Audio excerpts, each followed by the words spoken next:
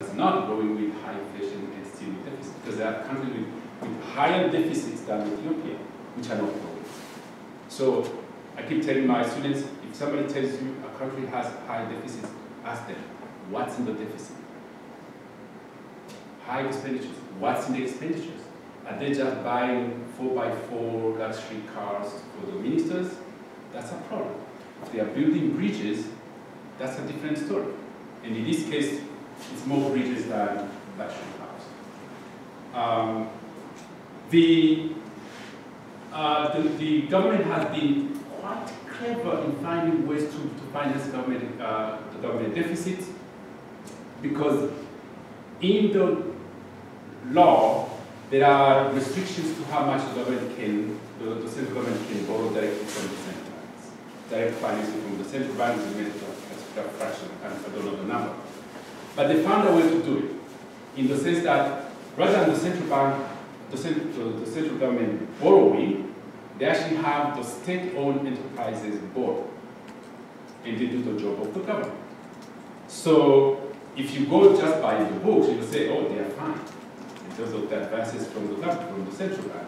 But they take a detour and have the uh, the uh, electricity company, the petrol company, and all kinds the petrol enterprises borrow directly from uh, either the central bank or the uh, Ethiopian Commercial Bank. It's called Ethiopian Commercial Bank. It's a public uh, public bank, which it does most of the financing of state-owned enterprises, strategic strategic sectors.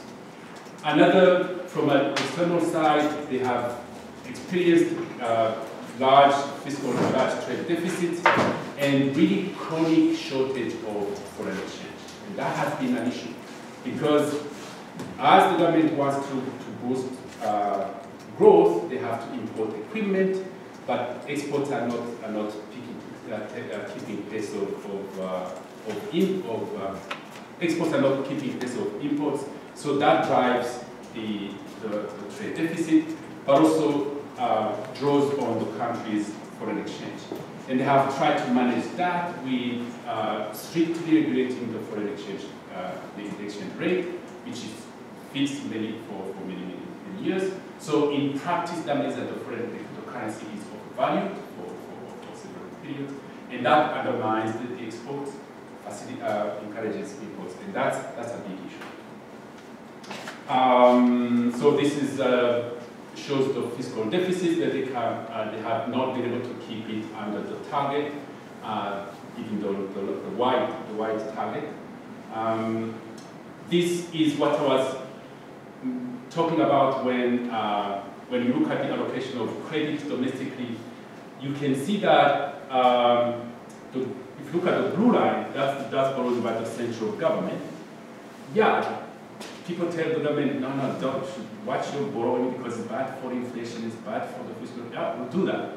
Don't worry, we're not borrowing, okay? But then you look at the SOEs, they're borrowing a lot. So, and if you look at the private sector, they haven't grown much, any, uh. So that's a different, that's a, not your standard story of crowding out where people look at central government versus private sector. No, in, that, in the case of Ethiopia, it's better to think about the public sector, central, uh, central government, and, uh, and, and uh, state-owned enterprises. In fact, that's what we do in our, in our analysis.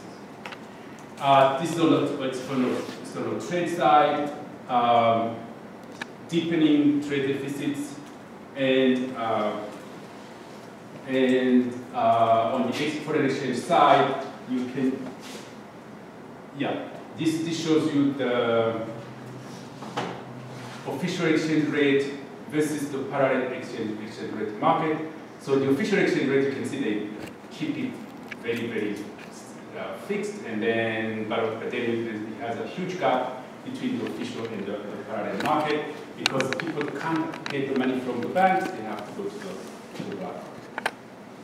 Um, so a quick review, which I was zoom through very quickly.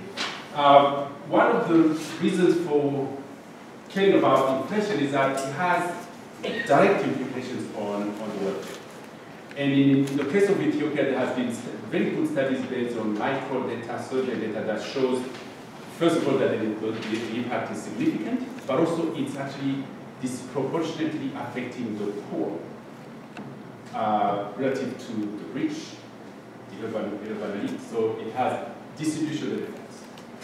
Um, we, in our examination of the, of the data, it became clear that uh, if you want to, to analyze inflation, you have to, to look at what goes into the basket of this CPI uh, that we, we normally take as a, as a measure of inflation. In the case of Ethiopia, we find that these different, different baskets of inflation behave differently.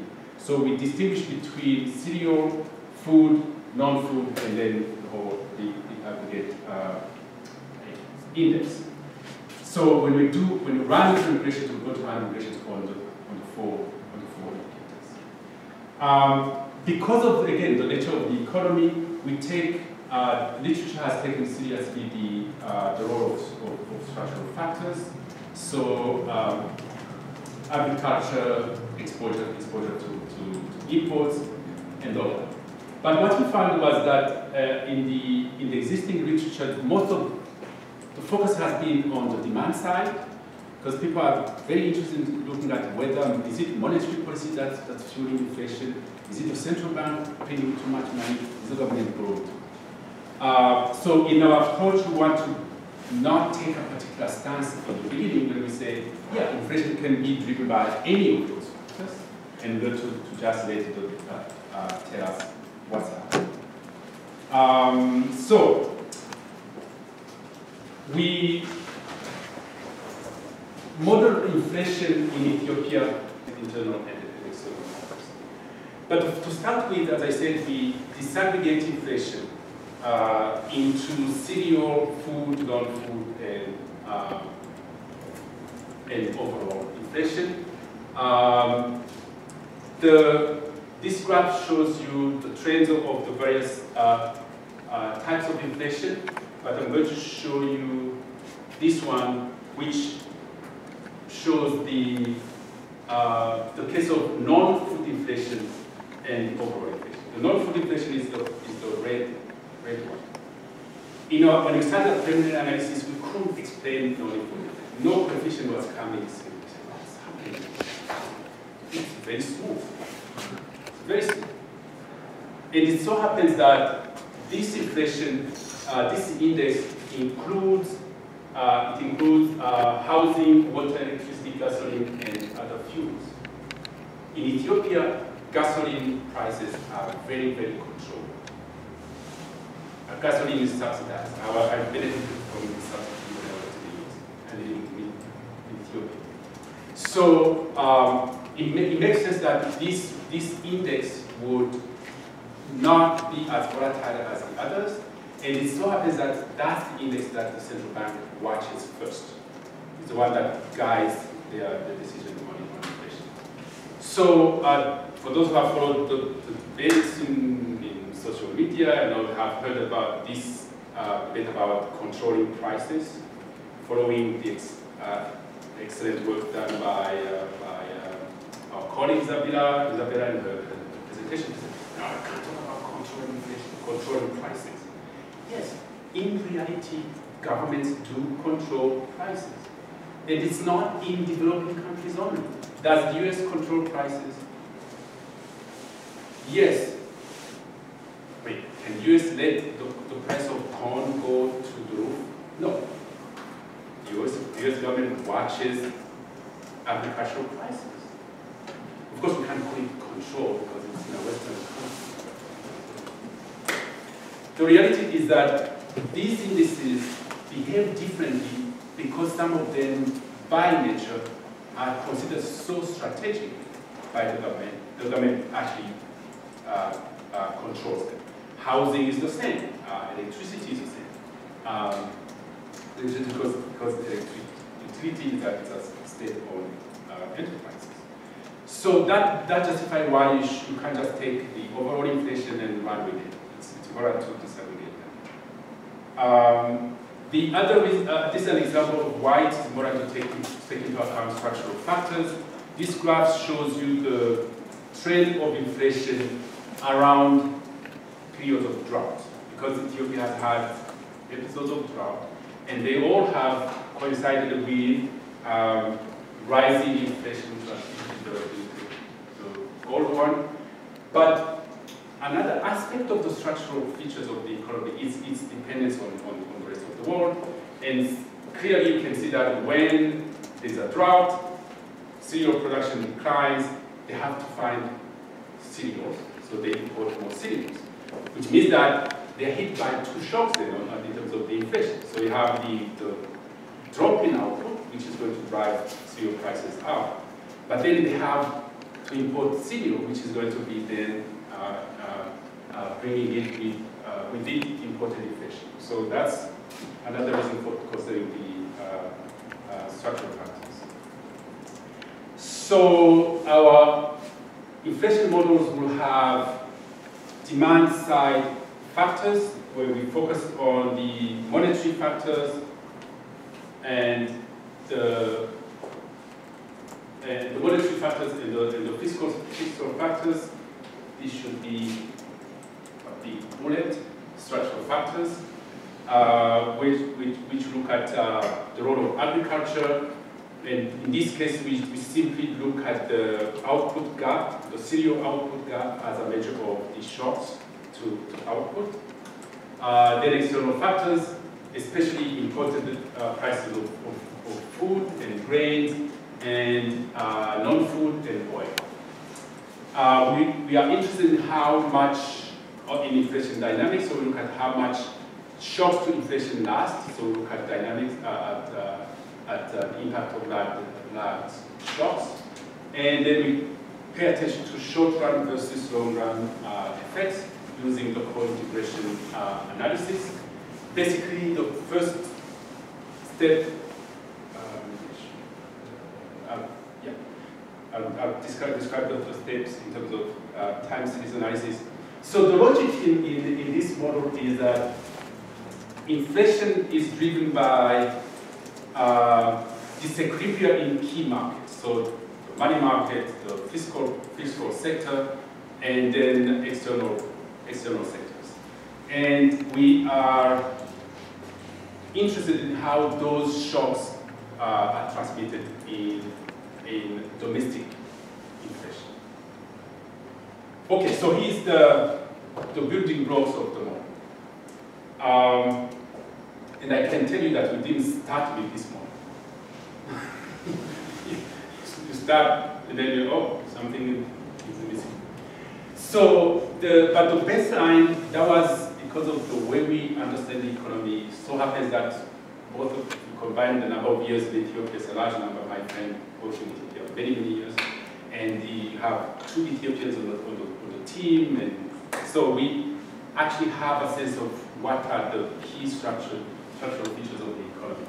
So we, our baseline is an inflation model that takes into account shocks to agriculture and shocks originating from the rest of the world. So as far as shocks to agriculture, as I said, it's measured by output gap, cereal output gap, and then imported inflation, uh, the price of imported goods, and then the. So that's the baseline. But then we say, yeah, we want to look at um, external effects, other external effects. So uh, this is driven by prices of goods which are prominent in, in, in Ethiopian trade. So grains and non-grains, oil, and so on. So here what basically we are modeling is the relationship between the Ethiopian price and the external price. So, so purchasing power parity, basically, for, for, particular, for particular goods. And then we look at how uh, what the, the, the long-run relationship between domestic prices and foreign prices, but also the transmission of shocks to, uh, to inflation in the short run. In the monetary sector, we are basically looking at the long-run relationship between money supply and money demand and its drive, its, its, its determinants. which is output uh, or income, interest rate. And then, so this is a money demand function, which is take into account income, the interest rate, and the exchange rate. Income and interest rate I don't have to explain, but why the exchange rate? In an open economy, people are not just choosing between domestic currency and, and, and uh, domestic cash and bonds and whatever non-cash uh, assets. They're also choosing between the domestic currency and the foreign currency. If the economy, if the, the domestic currency is, is seen to be losing value, people don't want to hold it. And I have seen, I know, see people actually sitting on, on dollars because they think that the Burundian currency is going to depreciate. And I have seen that in Ethiopia. So that's what that's what our motivation for bringing in exchange The problem is that empirically, when we look at the, the behavior of the exchange rate as you saw, the, no, the official exchange rate is actually not changing very much. You see it's constant for a while, then it changes a little bit.